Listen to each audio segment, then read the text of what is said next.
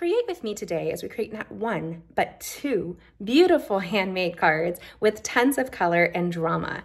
This is Jamie with GettingCrafty.net. Today's Stamping Stream Friday. We are going to go ahead and create two very beautiful, colorful stained glass-esque handmade cards. These are great to deliver some cheer in the new year. Welcome to 2021. This is the free stamp set available starting January 5th with Stampin' Up! And you can see more on my blog at Getting gettingcrafty.net. Let's go ahead and create the color now. And don't forget, you wanna make sure that you take time to subscribe, hit that bell, and so you receive all notifications for our card making Monday, wild card Wednesdays, and stamping stream Fridays as we craft with you all week long. Comment and see how you can win something wonderful today.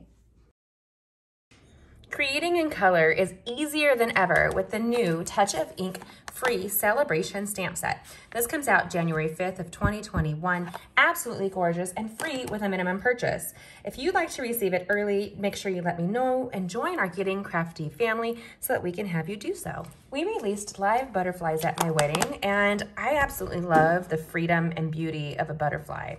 And um, when you look at the way that they're done in their chrysalis, right, it symbolizes new life. So as we join into the year of 2021, let's do something new and exciting and add some new life to it. So grabbing a Pierce mat, when you use photopolymer stamps, you want to take time in order to embrace having the right tools. A Pierce mat underneath of your photopolymer will help it stamp better. We also need a scrap of Whisper White cardstock. And we're gonna do it twice right now, and I'm gonna show you why. We're gonna embrace the whole using our Stampin' Write markers. This is the Brights Color Collection. And we're going to um, utilize two ink pads. We're going to utilize the Daffodil Delight and Pacific Point, but we're also going to use, actually, I think we're going to switch this out. We're going to go a little crazy here. We're going to use some Bermuda Bay and some Gorgeous Grape.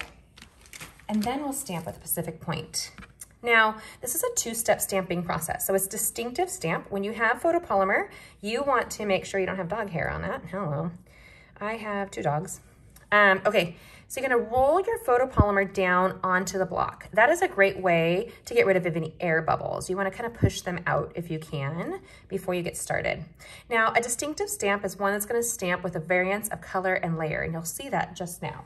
We're gonna stamp using our Daffodil Delight ink pad and photopolymer picks it up. You can see it there, it grabs the color, and then we're gonna turn this over, and I'm going to use the Bermuda Bay um, Stampin' Write marker. You're looking for the paintbrush side here, and then we're going to highlight the wings on this beautiful, beautiful butterfly.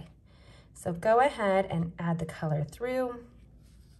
Each one, like a snowflake, will be unique and new.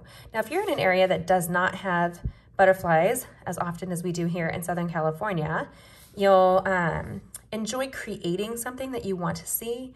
Uh, I actually live in an area where we have a lot of butterfly plants. We have butterfly plants on my yard. Um, and we're just gonna embrace some of the Bermuda Bay there. We're gonna add a little bit of that gorgeous grape and the caps fit right on the end, so I'm less likely to lose it. Hello, that is like so freaking important because I am great at losing stuff. Are you great at losing stuff? Maybe that's just me. And we're just gonna go ahead and embrace the color here. I want to highlight where the wings come in. So just kind of come in, adding some more distinct shadows and look. Now we're gonna huff on it. So you're gonna take it to your mouth with your mouth open and breathe on it. It's very simple. So we're gonna do that once. And first of all, can we talk about how pretty is that? Oh my goodness, so pretty, so easy. Then we're gonna grab the Pacific Point ink pad and the outline here. Now you can do it one of two ways. You could have stamped the outline down first and then the um, two-step stamping behind it, or you can do what I'm doing. And this is going to create like a watercolory effect. It's gonna go over it kind of lush. And you can see photopolymer, the one big benefit is you can see straight through it. Now, as you add color, that will change, so just keep that in mind. We're gonna give a little push all the way around, pull it up, and how beautiful is that? Now we're gonna do it again because we're gonna create two cards right now.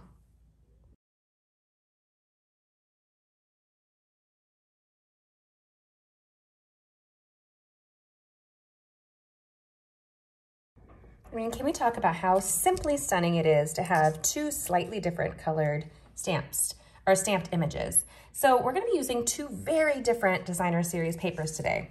We're gonna be embracing um, some color and some drama. So we're gonna be embracing this gorgeous designer series paper. It is called, how come I can never get the name when I put paper on top of it? I mean, seriously. You can see the description in my description. Oh, here it is. Crackers and cheese, you guys. It is called True Love Designer Series paper. It's black and white and full of pattern and gorgeousness. Simply stunning. But we're also gonna add some color. I mean, like in a new way. We're going to embrace the Berry Delightful Free Designer Series paper with Sale-A-Bration. So we're gonna grab some of this color and we're gonna show you how one look will have two very, very different looks with the designer series paper that you pick. So here I have on both cards, we're just gonna fussy cut them out with our paper snips and get them ready. Two different ones. And um, we'll lay the card out right now.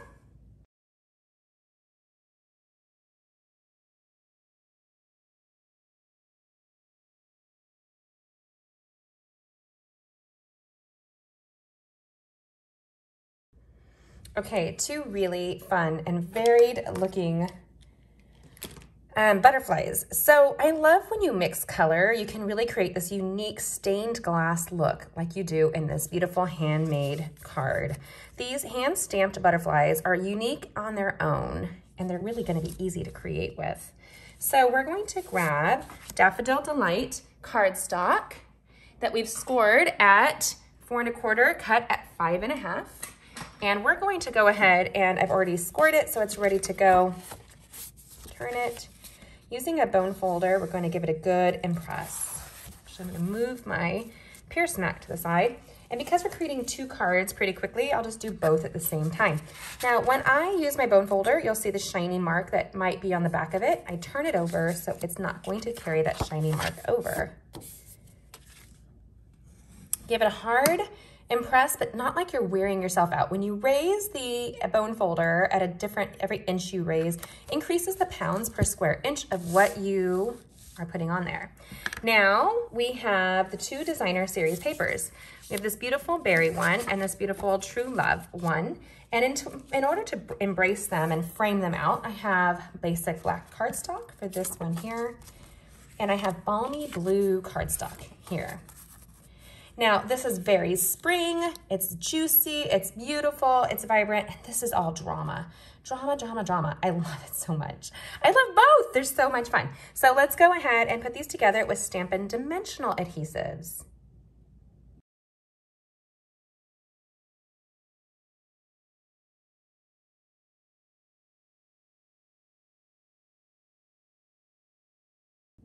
So you can see here, I did not go sparingly with the dimensionals. When you're sending this, you want it to stand up to being shipped and all of that good stuff. But I did go three dimensionals down the side, but I pulled out our mini glue dots. Our mini glue dots are so freaking amazing. I love them. Um, I'm gonna put two on the body of the butterfly. And we're gonna create a little additional level of depth of texture and dimension with that. So this is gonna lay flat because of the Stampin' uh, glue dots, the mini glue dots, and these are gonna be up. So I'm gonna kind of do a little curving. And of course, we need a beautiful butterfly to land on a beautiful flower. And there's no need to like worry about which flower you're gonna pick. I mean, honestly. Now, your butterfly is going to have this distinct little texture that you, it's kind of great to the eye. You're like, something's happening with the butterfly. It looks a little bit more alive, especially at this angle in person where you can see there's a bowed texture. And we're gonna do the same thing here. You always make sure that you leave skin to cover your mini glue dots. So what we're doing here is we're rolling it back, grabbing a little glue dot, and putting that on there. I don't touch it. I don't like to touch a lot of sticky stuff. It transfers to my crafting. Now we're gonna come in here and look at some berry yumminess, honestly. So I grew up in the central coast of California near Santa Maria where we have a strawberry festival every year. So strawberries are big for me. Um, it always came out in April right around my birthday. Now we're gonna grab a clear wink of Stella Glimmer brush It's a glycerin water brush. So because it's glycerin, it will transfer color. So your goal is do not dilly-dally. Just go quickly over it. You don't need the whole thing to be covered in stained glass, I mean stained glass, in glitter if you don't want, but if you do, just move fast. You don't want it to get muddled. Also, if you noted when I was cutting it, you'll see I left a little bit of white around the, um, the cut image. And the reason I did that was so that it would support the fine little legs that are sticking there in an antennae, but it also gives the color room to breathe. So if it's, you can see where it's closer to the edge, it's just a little bit darker that way. But if you put the little white around it, it looks better for that kind of thing. And um, we have here in the central coast of California, right off of Ventura, every December and January, we go to see the monarch um, fields. There's fields over in Ventura that has some great monarchs. And we're gonna do that again here this week for New Year's week. So now we have two very, very different looking handmade cards. I love them. I hope you do too. Which do you prefer? Do you like the bright strawberries or the more drama with the black and white? Comment and let me know. Now we're gonna grab a piece of Daffodil Delight cardstock. I'm grabbing a greeting. Thank you so much. Best wishes. I'm thinking of you. My friend Nikki suggested that earlier this week. We did another card similar to this on a Facebook Live. So if you're not joining us on our many forms of social media, we are out there to create with you all week long. Mondays are card making Mondays, stamping stream Fridays, but this is New Year's Day, so I'm not gonna be streaming live. I'm creating this morning and putting it out there. And then we have wild card Wednesdays. And this week we were focusing on Bible journaling. So make sure you check out some of the fun that we do on the various days and all the videos waiting for you. Comment and let me know. If you're not on my mailing list, make sure you get on it because we have happy gifts going out all the time to those in our life. Now, we're gonna grab a paper trimmer because I get a little A-type about this kind of thing. So here's the Stampin' Up! paper trimmer. I'm gonna come in here, go right under the words, looking at the track here. I wanna give a little room to breathe, but not too much. I'm gonna trim down, remove this little scrap. I'm upside down, so it kind of threw me there for a second. Go in between. I know one of these cards are gonna go to my friend Dolores. I was thinking about her, missing her. Another one's going to my friend Terry. Super fun. Now we have this really cute little thinking of you. So we can put it down with glue dots or dimensional. I think I'm going dimensional all the way just because I like um, a variance of textures and depth and dimension on my crafting. And it's easy to do when you create really simple like this. And I tucked it in just a little bit so it's framed by the designer series paper. Sometimes I peel the backing off and put the paper to it versus putting this thing there and removing the backing. There you go. Two really pretty butterfly cards created really quickly for you and using a brand new free stamp set called A Touch of Ink. It's distinctive, it creates a lot of shadow and variance, and I wanna show you what we created earlier this week on a Facebook Live. You can see here with the hummingbird version, what I came up with, and hummingbirds were in honor of my Nana. I love it. I hope that this inspires you to create with color. Now, I highly encourage if you're gonna order our Stampin' Write markers, order them by their color family. They come in this great little holder and um, I can see what colors are missing. I, it stores really easily. And when I store it, I store it so it's on the side so that my Stampin' Write markers are sitting like so, so the color stays on the side. This is our Brights collection here. You can see the full shopping list right in my description and on my blog at gettingcrafty.net.